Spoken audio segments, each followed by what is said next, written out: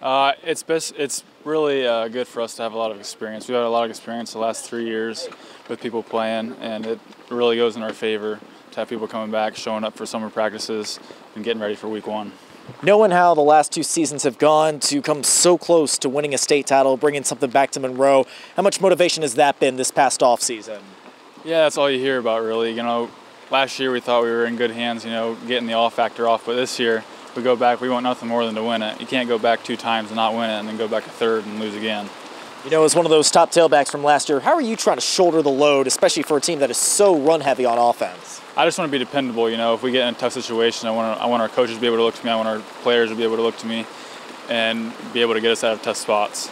Um, of course, you guys are mixing a new quarterback with uh, Max Hamilton, right? Yeah. Yeah, Jack. Jack with uh, Jack. Uh, what have you liked about him so far as he uh, takes command of this offense? He's a hard worker.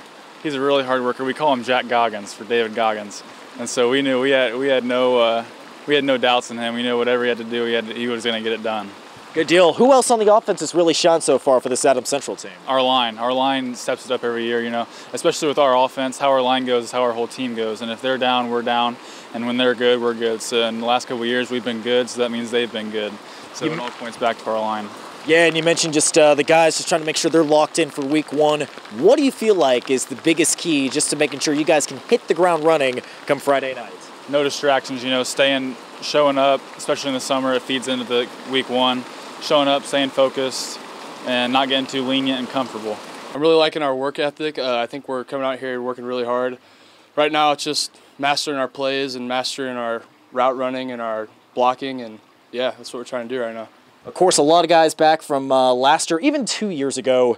How much motivation, um, how motivated have the guys been just knowing how the last couple of seasons have ended in Lucas Oil, but just one game shy of a state title? Yeah, just that one game and coming so close, it just eats at you while we're practicing every day, and we're just working towards that final goal, which is obviously state. Uh, as one of those top offensive guys coming back last year, you got plenty of experience yourself. How have you tried to shoulder the load and make sure you can be a leader for some of these younger guys? Yeah, um, that experience I'm trying to pass down to the younger guys and just telling them that even their minor role can fit just as much as a major role, and it's just as important. Talking with guys like Keegan, yourself, or some other guys uh, on offense who you feel like can step up and play a big role for the Adams Central team. Yeah, definitely our quarterback, Jack Hamilton. He's working really hard. Lain Lengerich, he's going to get out there in the trenches. And uh, we got Max Hamilton, um, Trevor Curry, a lot of those guys coming back and a lot of experience. For sure. Uh, just overall, what do you feel like is the biggest key to making sure Adams Central can hit the ground running uh, come Friday night against Garrett? Definitely our conditioning. We got to stay up on that, and we got to just hit every block hard, every route hard, and just practice really hard. You know, we're all really, it's a brotherhood. We're family, and we play for each other and in the trenches, and I block for my running backs and my quarterback. I was going to say, as uh, one of those guys that's in the trenches, how do you guys go about trying to set that tone of physicality up front? You know, our offense is the line moves the line of scrimmage. And if the line's not moving the line of scrimmage, the ball's not moving anywhere. And we got to make sure that line's moving so we can keep our running backs moving. For sure. Uh, what have you liked about this offense specifically? Obviously, you got guys like Keegan, Ryan coming back. You're mixing a new quarterback too. What has stood out about this group so far? Yep, I, I think there's it's pretty versatile for offense like us. So we got Trevor Curry. We can air the ball out too. We got Keegan Bluhm, Tester, and we got a good line up front. Jack Hamilton, uh, first year uh, starter quarterback, and I'm excited. And you said you do play a little defense too, right? Yep. Uh, what have you liked about that side of the ball so far? I, I like defense. I like doing the hit, and I like setting the tone in the trenches and making sure the ball ain't going nowhere. Of course, this team has gotten to Lucas Oil in uh, back-to-back years, falling one game short of a state title. How big of a motivating factor has that been during off-season workouts to take care of unfinished business finally? You know, it's it's really lighting our flame up. You know, it's the chip on our shoulder, and every day in practice, I know the group of seniors we've been a part of it since we were sophomores, and we're coming out here and we're trying to get better, trying to perfect our game, and be the better team.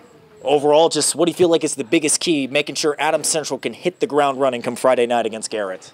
We're gonna take it one play at a time and one quarter at a time, and do what we can. Uh, I, have liked a lot of things. I think we have a lot of skill. Uh, we got experience coming back. Um, they they know what they know what it takes to win.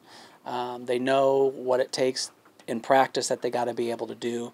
Um, they need to be reminded of some of those things every now and then. You know, we've had a, a, a kind of a really a, a, difficult scrimmage. We didn't play as well as we we hoped.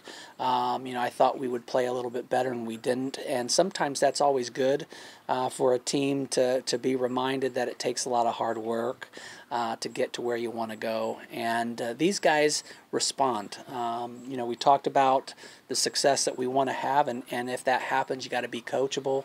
Uh, you got to be willing to, to put uh, others before yourself, and, and that's a big part of, of what the success is. So I, I have liked the fact uh, that they, and I'm sure that the kids probably said this, they're, they're pretty close, they're good friends, they work hard uh, for each other, they play for each other. Uh, and I think that's a big part of, of what makes us go. Of course, offensively, you've got guys like Keegan, Ryan coming back as far as the skill positions. Um, how helpful is it having folks like those that have uh, provided a lot of offense, a, lot of yards, scores uh, from last year? It's it's a big deal. Again, experience is is something that teams really value, and we value that as well. So you know, really, when you look at that, um, they know what it takes to be successful. That doesn't mean that that it's going to happen easily, but but they at least know what it takes, and they can lead some of these young young guys to come in, or these guys that haven't had much experience uh, to come in and and kind of show them the ropes and get things going. So for us, it's it's it's very valuable that uh, they have had experience. How about defensively? What has stood out on that side of the ball so far? Well, I think we got a lot of young guys playing hard, and, and I'm excited about our secondary. We got most of our secondary back. Um, excited about uh, just that extra year of experience that these guys these guys bring that we didn't have last year. You know, and I think we have a, some some challenging points there. I think in you know if we look at the at the state game, uh, we really struggled a little bit in that secondary, and I think it was our, our our young guys in and the inexperience that we had at that particular moment. So it's a big challenge for us to kind of right that and right that ship a little bit. And so I'm I'm excited about what they're doing. I'm excited about how they're playing.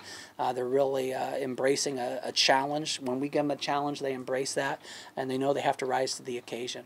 Um, as far as some folks who uh, maybe didn't get as much time yeah. last year, maybe some uh, fresher faces, who was uh, tried to st- uh, make themselves known or uh, stand out so far uh, throughout yeah. the early part of the season? Um, I, I, I would say definitely uh, someone like Drew Carr defensively, uh, he got some plays. He's a junior this year, played some as a, as a sophomore, but I think he's one that we're going to really need to, to depend on.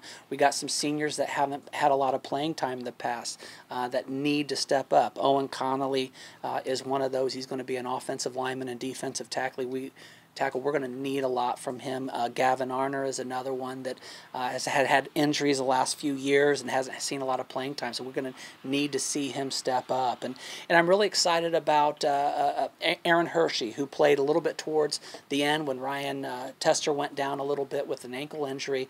he got a lot of experience for us late in the season. he's going to be our starting running back for us with Ryan Tester. And so I'm really excited about what he can do and see how he then uh, matures and grows throughout the season.